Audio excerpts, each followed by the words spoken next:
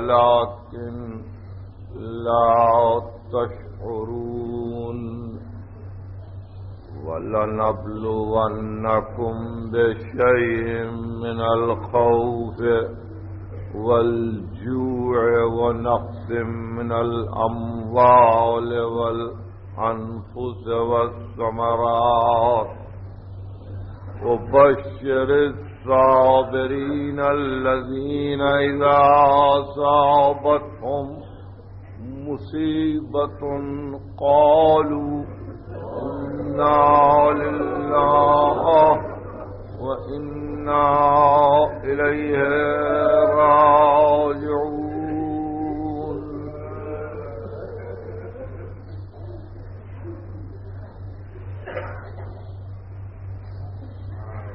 ہر انسان کو اس کا فطری لگاؤ، اس کا باطنی تعلق، اس کی چھپی ہوئی محبت ایک راہ پر ڈال دیتی ہے۔ اور جیسے جیسے وہ اس فطری لگاؤ میں یا باطنی محبت میں مراحل سفر طے کرتے جاتا ہے، ویسے ویسے وہ اپنے مقصد سے، مدعا سے، محبوب سے، مطلوب سے، مقصود سے قریب تر ہوتا جاتا ہے۔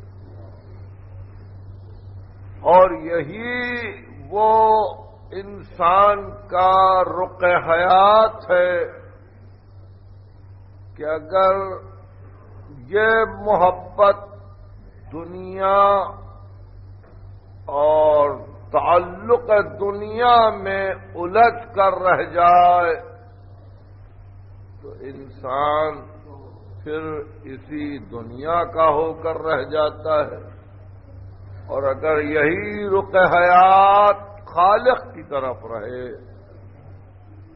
تو پھر وہ ہر آن اور ہر لمحہ معراج کی منزلوں کو طے کرتا ہوا آگے بڑھتا ہے۔ محبت انسان کو بدل دیتی ہے۔ محبت انسان کو متغیر کر دیتی ہے۔ محبت تجدید ہستی مومن ہے۔ محبت ایک انداز ہے، ایک پیمانہ ہے کہ جہاں انسان تولا جاتا ہے، جانچا جاتا ہے کہ اس کا لگاؤ کہاں ہے، کس سے ہے، انجام کیا ہوگا۔ پہلی محرم سے لے کر آج انیس سفر تک، میں تو کیا آپ نے اپنی اپنی قلبی صلاحیتوں کو ٹٹولا ہے۔ آپ نے دیکھا ہے کہ آپ کا باطنی رجحان کیا ہے۔ آپ کا قلب کہاں کھچ رہا ہے؟ آپ کو کون اپنے نزدیک بلا رہا ہے؟ تجربہ ذاتی بہتر ہوتا ہے۔ میں کیوں بتلاؤں؟ کہ آپ کس کی طرف راغب رہے، مگر لیجیے تیرہ سو اکیانوے کا یہ زمانہ بھی بحمد اللہ ختم ہوا۔ مگر افسوس اس امر کا رہ گیا کہ ہم یہ کہنے کے قابل نہ ہو سکے کہ ہم سے خدمت ادا ہو۔ ہم یہ کہنے کے قابل نہ ہو سکے کہ ہم نے فریضہ ادا کیا۔ بہرحال اگر واقعی آپ کو اس گھرانے سے محبت ہے، جس گھرانے کے ذکر نے آپ کو دن اور رات مصروف رکھا اگر آپ کو اس خان وادے سے ارتباط ہے، جس خان وادے کے ربط نے آپ کی راتوں کی نیندیں اڑا دیں اور آپ مسلسل مجلسوں میں شریک ہوتے رہے، تو اب آپ مطمئن ہو جائیں اور بئی کے سوگوارو الوداع۔ الوداع اب وقت ختم ہو رہا ہے۔ اب وقت ختم ہو رہا ہے۔ میں اور تو کچھ نہیں کہتا عزیزوں کچھ اگر کہہ بھی سکوں گا تو شاید کل لشکر پارک میں مفصل گفتگو ہوگی۔ آج صرف اتنا عرض کروں کہ آپ کو زہرا جزا دیں گے۔ آپ کو زہرا دعا دیں گے۔ آپ کو رسول دعا دیں گے۔ میں اس سے بڑھ کے کچھ نہیں کہہ سکتا۔ آپ نے آپ کے بچوں نے، آپ کے گھر والوں نے بڑی خدمتیں کی ہیں۔ بڑی خدمتیں کی ہیں۔ میرا دل جانتا ہے، میرا دل جانتا ہے۔ روز غم، روز ماتم، روز مجلس۔ اب مسلسل یہاں سے وہاں وہاں سے یہاں، سواریوں کی تکلیف یادہ پا چلنا، مگر آپ نے ہر چیز کو برداشت کیا تو یقیناً سلا بھی ملے گا، یقیناً بدلہ بھی ملے گا۔ فقط آخرت ہی میں نہیں، بدلہ یہاں ملے گا، سلا یہاں ملے گا۔ دعائیں یہیں کے لیے دی جائیں گی۔ اور اس اعتبار سے یہ محبت آپ کو کھینچے کھینچے لیے پھر رہی تھی اور آپ جا رہے تھے مجلسوں میں۔ تھوڑا سا وقت اور رہ گیا ہے، وہ بھی گزر ہی جائے گا۔ خدا کرے کہ یہ وقت قدر کا وقت بن جائے، یہ گھڑیاں، قدر کی گھڑیاں بن جائیں، آنے والی رات قدر کی رات بن جائے۔ میری تمنا یہ ہے کہ ہم جس راہ پر چل رہے ہیں، ہمارا جو رخ حیات ہے، وہ بدلنے نہ پائے۔ المر او من احبا انسان کا حشر اسی کے ساتھ ہوگا جس کو وہ دوست رکھتا ہے۔ انسان محشور ہوگا اس کے ساتھ جس کو وہ دوست رکھتا ہے۔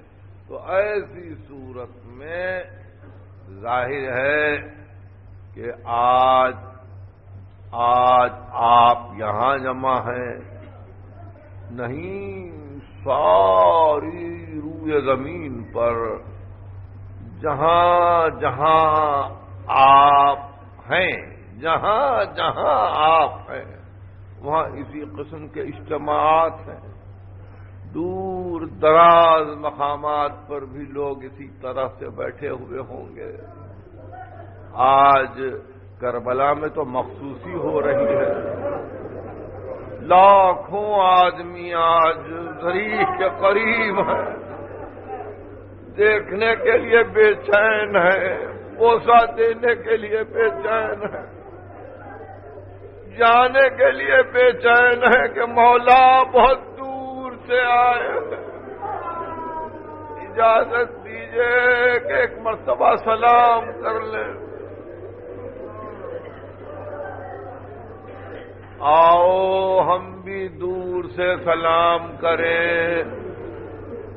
ہم بھی دور سے سلام کریں، مگر میں چاہتا یہ ہوں کہ وہ سلام ہمارا اپنا تصنیف کیا ہوا نہ ہو، بلکہ وہ سلام معصوم کی زبان سے ادا ہوا ہو۔ امام صادق کہتے ہیں کہ جب نجف کی زیارت کو جاؤ اور پہلی مرتبہ جب علی کی زیارت کرو تو بے اختیار علی کے سرحانے سے مڑ جاؤ کربلا کی طرف۔ یعنی ابھی پوری زیارت امیر المومنین کی مکمل نہیں ہوئی، آپ احکام زیارت اٹھا کے مفاتی کو دیکھیے۔ کا پہلی زیارت جب علی کی پڑھو تو بے اختیار علی کے سرحانے کھڑے ہو کر کربلا کی طرف رخ کر کے آواز دو، السلام علیکم یبت رسول اللہ۔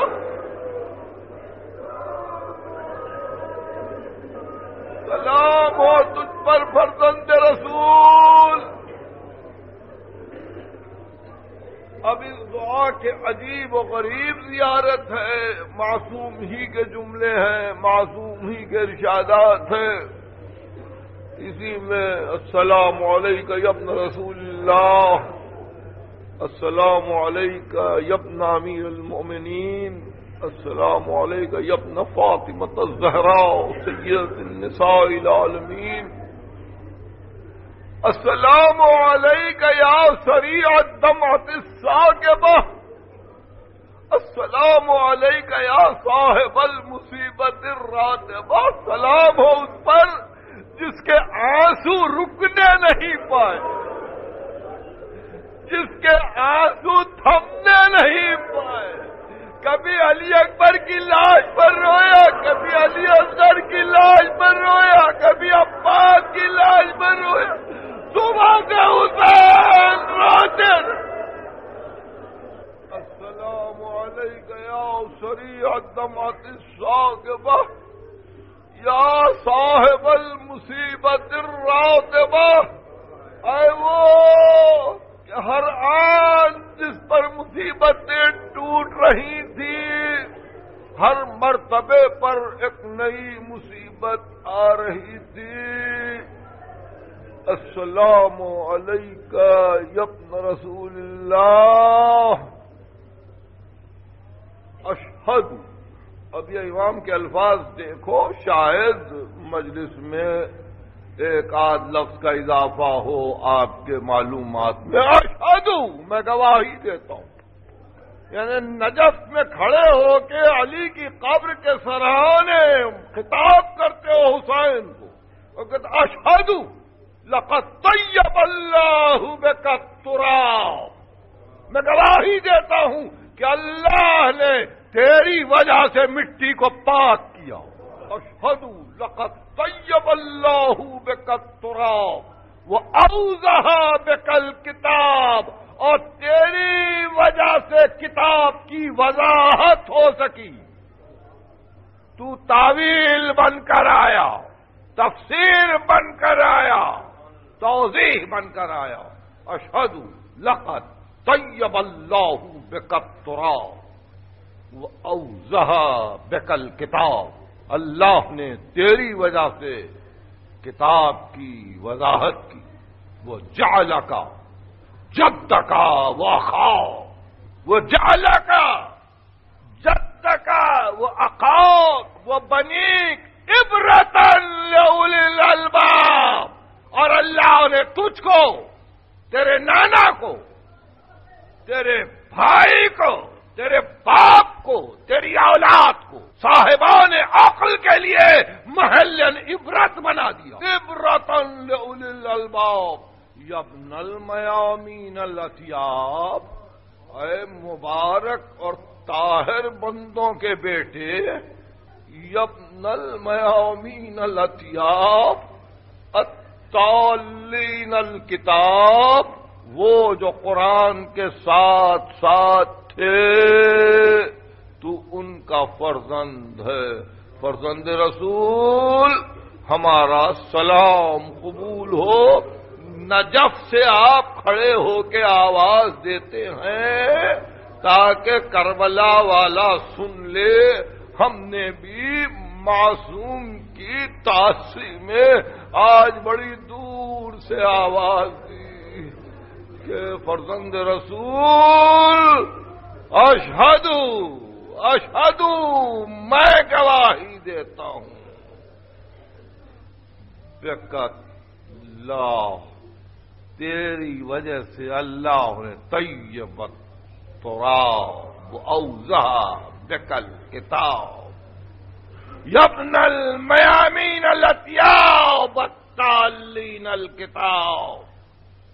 اے وہ کہ جس نے کتاب کی توضیح کی۔ کتاب کی تفصیل کی، تمہید کی مجھے ضرورت نہ تھی، مگر میں چاہتا تھا کہ زبان معصوم سے نکلے ہوئے الفاظ ایک مرتبہ آپ کے کانوں تک آج پہنچ جائیں۔ اس واسطے کہ ایک اور بھی سلام آج ہو رہا ہے۔ آج ہوگا یا کل ہوگا، بارہ ایک سلام مگر نزدیک سے۔ اور وہ بہن کا سلام ہے بھائی کے لیے۔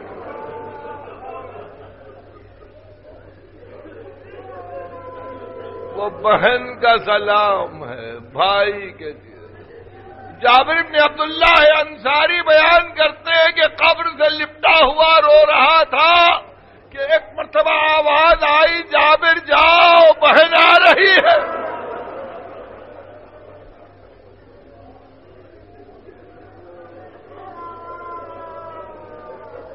جابر جا، میرا بیمار بیٹا آ رہا ہے، استقبال کرو۔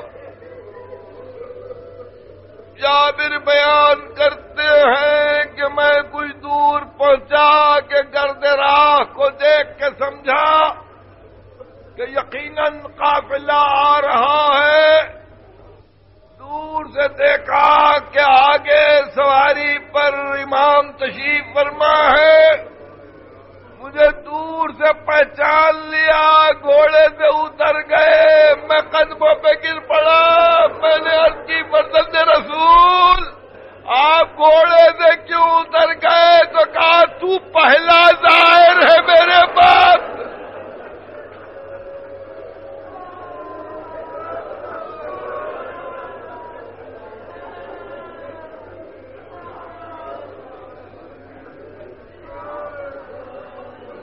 باپ کا پہلا ظاہر ہے۔ جابر بیان کرتے ہیں یہ سن کے۔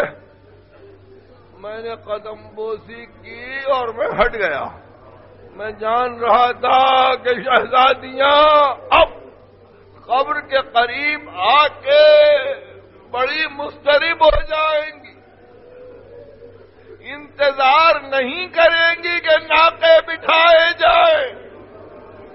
اور ایسا ہی ہوا، ابھی ناکے بٹھائے نہیں گئے تھے کہ زینب گر پڑ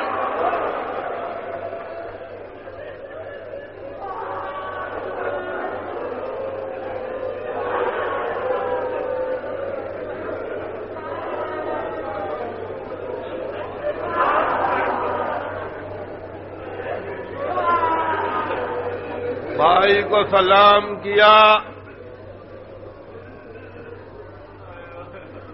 اور میں کیوں کر کہوں؟ کیسے کہوں؟ کس طرح سے قافلے کو سنبھالا؟ خبروں کو دیکھا؟ سب شہدا کی قبروں کو دیکھ کر مجلسیں کی ماتم کیا۔ تین دن کربلا میں قیام رہا۔ جب جانے کا وقت آیا، سواریاں آئیں تو کہا، بھائی، مدینے کی سواری یاد ہے۔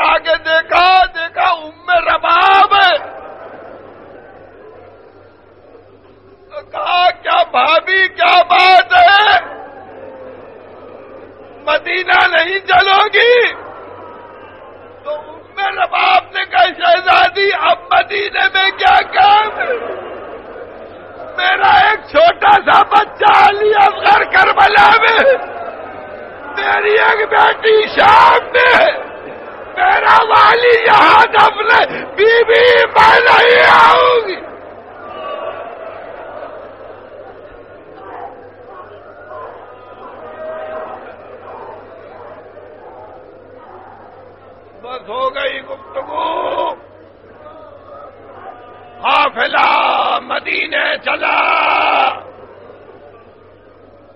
مدینہ قریب آیا۔ عابد بیمار نے خطبہ دیا۔ عجیب و غریب خطبہ ہے۔ تاریخ امامت میں یادگار خطبہ۔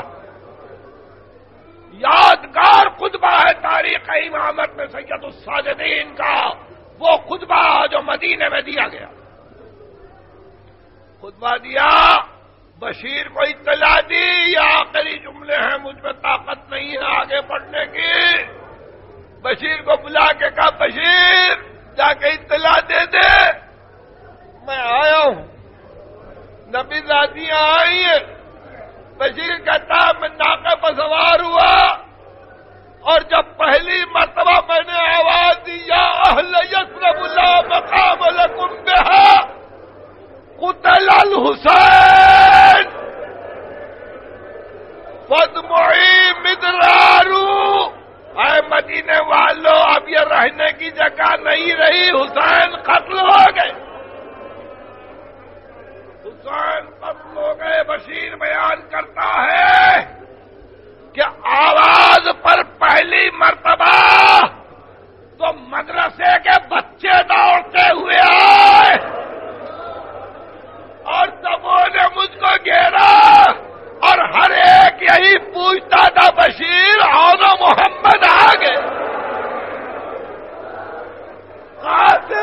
target.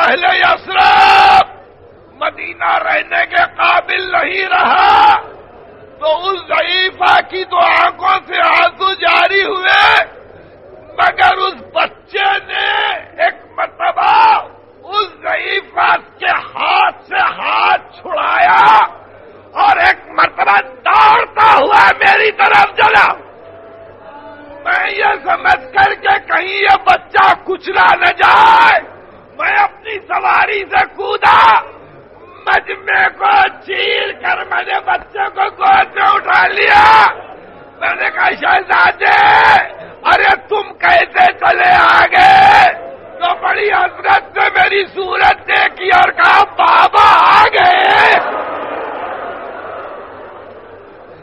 بابا آ گئے. میں نے کہا شہزادے تیرے باپ کا نام کیا ہے؟ تو میری صورت دیکھ کے کہا، عباس! عباس!